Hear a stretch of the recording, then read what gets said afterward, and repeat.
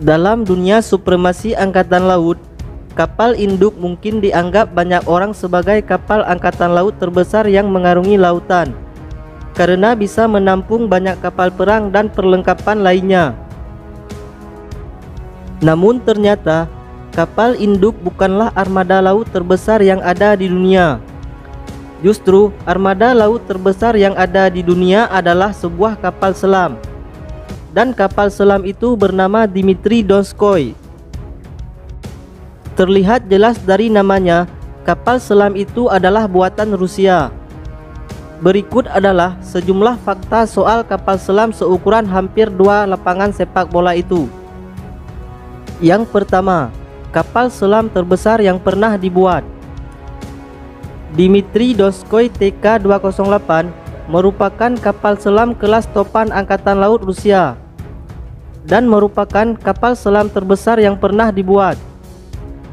Kapal selam ini memiliki panjang 175 meter dan lebar 25 meter. Yang kedua, dilengkapi rudal. Kapal yang telah beroperasi sejak tahun 1980 dengan beberapa periode perbaikan signifikan dalam sejarahnya ini mampu meluncurkan rudal balistik besar-besaran. Dimitri Donskoy meluncurkan rudal Bulava pertamanya pada tanggal 27 September 2005. Namun untuk peluncurannya dilakukan saat kapal selam muncul ke permukaan. Pada saat itu, misil ditembakkan dari Laut Putih. Yang ketiga, masih dioperasikan sampai saat ini.